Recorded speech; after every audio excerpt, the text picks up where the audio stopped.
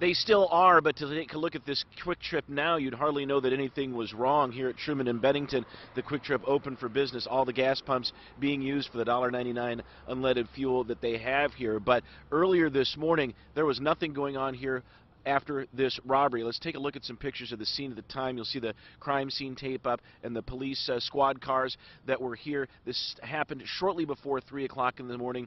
A man runs in shouts this is a robbery. He foraged through the cash register, grabbed what money he could, and we're told by police there wouldn't have been very much money in that cash register at that time. And then he took off here. The police believe that he eventually went south on Ewing Avenue, another one of the cr cross streets here.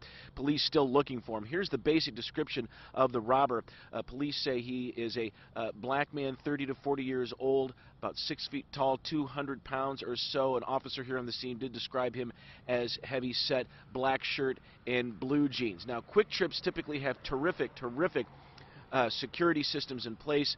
Uh, officers here telling me that they looked through the video here. It was very good video, but the guy wasn't in the store more than 25 or 30 seconds, so there wasn't much they could pick up off of that that would have been a distinguishing characteristic.